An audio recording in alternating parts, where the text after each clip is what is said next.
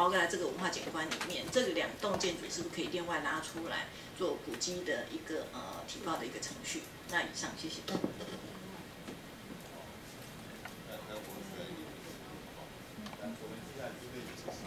嗯，长官好，军备局这边发言，因为我们土地是属于军备局，那现在的使用单位是属于空军，那我们军备局这边都是尊重空军司令部的相关意见，谢谢。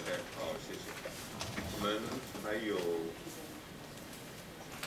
空军作战指挥部要发言吗？来，请。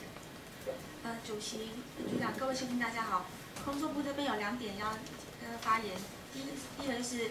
呃，北市府这边将蟾蜍山重要军事管制区纳入文化景观范围，那内容有分为农业区、聚落区、生态和军事区，因此在不同区域有不同的方式的维护计划。那也感谢文化局这边为了军事的需要，那将军事区才尊重的方式来让我们独立运作。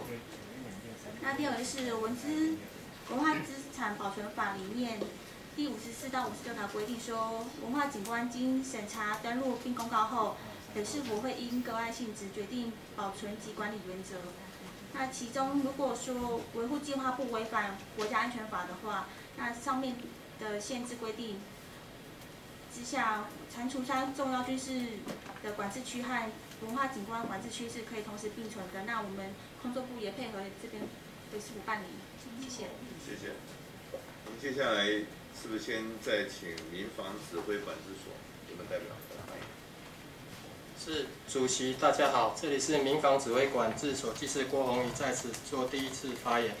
哎，对，刚才哎第一位发言的那位先生，他刚才有讲说那个就是民防司令部，然后里面有那个防空洞，可能在此声明，他说的那个防空洞可能太过于抽象。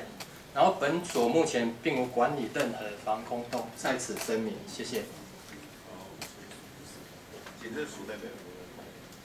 警政署这边补充报告，呃，因因为我们的部分呐是在等于是在军事管制区的另外一段，那在地图上啊这边还是写军事管制区，那事实上我们大部分的建筑啊啊都是在民国六十年以后建的哈。跟这个历史文化景观啊比较没有什么直接的这个关系啊，是不是我们可以比照国军的部分啊？哦，如果有关需要增建或扩建的部分啊，由我们自行来办理。谢谢。好，谢谢。再来这个警察通讯所代表。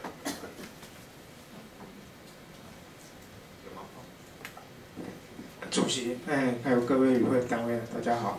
是因为我们是那个警察通讯所，我们用那个上级机关警政署的意见这样为主，就谢谢。好，谢谢。我们保七是第七总队，保七总队代表。保七总队就如我们先前已经有提报一些那个书面意见表啊，请各位参照。好。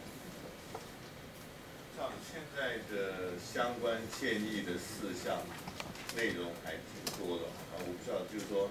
在这个文化局的这个民办的这个建议里面，跟今天大家各单位的发言等等，我们可以先做一个初步的探讨。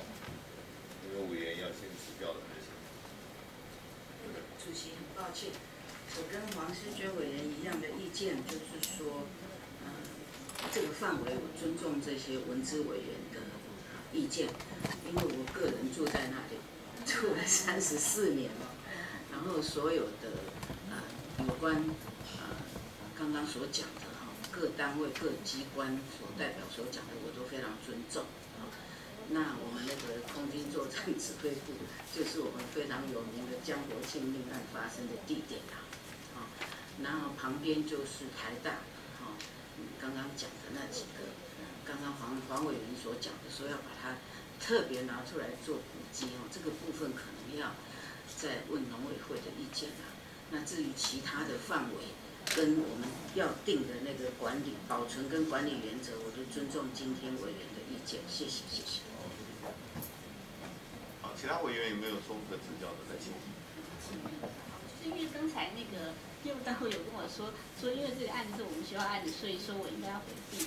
但是我想要说明一下，就是说，我目前并没有担任任何行政职，所以这个东西其实跟我的职务是没有关系的。那而且大家也可以看我之前的发言，我想都跟我个人没有任何利益的关系，所以我我想争取呃在座各位委员的意见，说我是不是有需要回回避？我们过去也有学校的以及会有历史建筑，但是其实并没有要求那个学校委员回避。再见。呃，针对那个王老师的部分哈，其实我们也不涉及表决。那今天是谈登录理由跟保存原则的部分，其实老师不涉及他的行政职权上的冲突，其实不用回避。以上报告。照刚才王委员提的这些部分，我觉得我们也不用太扩大了，因为文化局可能都非常的严谨，但是搞得这样的这个这个吹毛求疵，这个对我原来讲也不是很好。如果他是跟这个本案实质的管理或者行政单位，我想应该是对的。但你不能够把这个所有台大的都拿进去，那不了。那这样的话，我们相关的单位其实也不能来发言，他都要回避啊。都照这样的原则，好吧？我想这个还是尊重这个委员的这个热忱协助，好吧？即使我们这个案最后要表决，委员还是可以列席，还是可以参与的，好不好？OK，我们就就是不要去扩大的这样解，要不然大家都吹毛求疵，那没没没完没了。好，其他委员还没有来请。这个看是不是康老师？因为这个整个当时也委托康老师来做一个调查研究。我觉得在这里面有一点点美中不足的。这个蟾蜍山，事实上我们都从汉人眼光来看，事实上蟾蜍山早年它是泰雅族，泰雅族最接近台北盆地的一个据点，所以附近早年这边宁安太古所在安溪的一些住宅。它都是是唐初山，是一个一个一个一个原住民出草的一个所在，所以这边才有古亭，才有这些名胜出现。所以是不是把这一段的历史能够稍微叙述一下啊？以上。我想请教，刚刚我是同意用产业啊，那写了糖业，我不知道是不是以前的调查里面有出现过糖业啊？请在那个。第二个就是说，因为既然是整个文化景观，我记得最初在讨论的时候有说，从公馆要出去哦，这里面其实还有很多水郡系统，就是跟柳公郡呐，这个，所以我觉得水路这个部分，看怎么样能够在未来整体，很多被加盖了嘛，也许将来还有一些，其实未来应该有个保护管理计划，应该要在啊拟定出来啊。那我觉得刚刚国防部或者是军事单位有提到。我觉得那两个就是有点问题，说不受限制啊。其实，在我们的法规里面，其实应该只是说，如果你有一些特殊的需求，可以再经过讨论。但是，我觉得应该还是要受受所有的文化景观的法令的约制嘛。那这一点应该是毋庸置疑的。以上，谢。谢谢。其他委员。关于这个案子，因为它是以文化景观的方式的登录，然后通常我们目前看到文化景观里面，大部分都以文化相关的设施、建筑这些为主。那这个案子蛮特别的，它有蛮多的那个生态这个部分，所以我在想说，我有点好奇，说在康老师他们的调查研究报告里面，有没有针对这边的，比如说那个生态的多样性去做一些说明？这样，谢谢。就待会请这个提报的人代表。简单说一下，那其他委员还没有？如果没有的话，那个我们先请那个提报人针对刚刚生态的部分有做来，要不简要说明？是那个康老师的计划是啊，分成三个部分。那其中一块就是生态的部分，是委托台大的李培芬老师进行研究。那去年就是在山上，大概去年四月的时候，用红外线摄影机有在。蟾蜍山上山上拍到山枪的存在，那还有其他的很多的保育类的动物，以及一些呃日本时代那时候调查出来比较特别的兰花的一些种类，所以它是呃在那个调查研究计划里面是有专门的一章是啊做这个地方的生态调查这样子。这样的，我请教这个物流单位，今天相关单位跟提报人还有委员这么多综合的建议。